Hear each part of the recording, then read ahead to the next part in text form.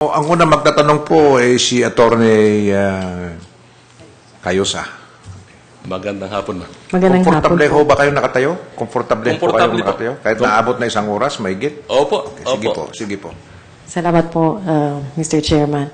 Paumanin niyo na po. Um, I will have to speak in English Opo. and feel free to respond in Filipino if you Opo. so wish. If we were to continue the presentation that you made, I believe you Ah. presented this we, uh, before the IBP during the forum. You did not get to the part where you would uh, propose knowledge and technical sharing on best judicial practices. Would you care to elaborate what you mean by this? And I was thinking in terms of peer um, peer uh, sharing among the judges. But uh, Opo. I would like to find out what your thoughts are on this. Opo. Ito po ay magandang programa ng Korte Suprema. Dahil una-una po ito po ay isinasagawa ng Komisyon, COMELEC, na kung saan po ako ay nanunungkulan yung sharing of best election practices. Ako po ay dumalo sa mga komperensya na kung saan natuto po tayo sa kanila at sila sa atin. Halimbawa po, yung pagkakaroon ng satellite registration sa mga malls. Noong 2011, more than 38 malls ang ginawang registration center po for PWDs, persons with disabilities. Sa ibang bansa, this is a best or good election practice. Natuto po sa atin. Pangalawa po, nandiyan din po yung ah, pagkakatayo ng interagency and NGO network to empower PWDs, to empower IPs, to empower detainees. Wala po sa ibang bansa.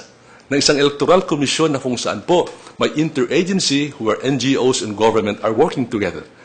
So, sa hukuman po, kung ako po ay maging ah, punong hukom, magkakaroon po ng sharing of best practice. For instance po sa India, may tinatawag na epistolary jurisdiction sa India po.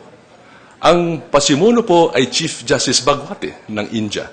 Ibig sabihin sa sulat lang po, kung isa po ay isang mahirap, walang kakayan kumuha ng abogado, isang sulat, the Supreme Court will entertain this, epis, this epistle or letter or complaint from isang manggagawa, isang magsasaka, o isang mahirap. So, best judicial practice na pwedeng matutunan po natin. Sa Estados Unidos po, nag-create po ng judicial conference. Ah, si Chief Justice Staff noon, na kung saan pulong po ng mga magistrado ng Korte Suprema, appellate courts, and yearly, they share their experiences, lessons from one another.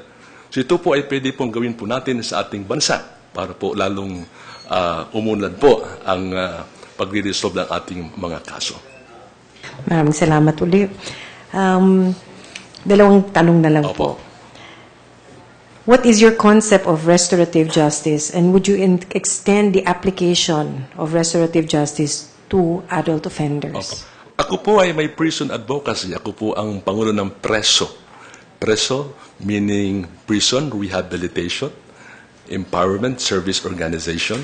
Ito po ay binobo po ng mga madre, kaparian, mga miyembro ng NGOs at retired members of the judiciary.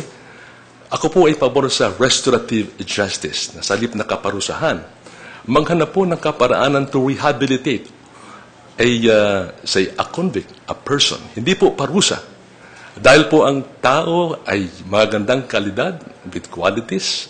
So by restoring uh, his dignity to restorative justice, magiging productive member po siya ng ating lipunan. And in this kind of justice, the community po is involved to restore the dignity of that person. Ako po ay pabor po sa ganitong hustisya sa ating lipunan. Would you go so far as to indicating in the judgment where the offender is found guilty to require him to undergo counseling or rehabilitation as part of uh, the decision? Ako po ay sangayon po sa mungkahingan na maging bahagi ng ating mga desisyon ang counseling services because when we counsel, we inspire people. Lalong bumabalik ang kalang tiwala sa sarili at kalang dignidad. So I think this should part of the judgment to counsel and inspire the convicts. My last question. Opo. Were there instances in your public career where your independence or integrity was put to test and when you had to decide or rule in conflict with the interests of an appointing authority? Ilang beses po ako na nagdesisyon po sa COMELEC. I can cite six or seven cases. Ako po ay dissenting opinion. Halimbawa po ang kaso ng Ladlad. Liberal Party versus COMELEC. Amor versus uh, Amora versus COMELEC. Uh, Panlaki versus uh, COMELEC. At ilan pa ho.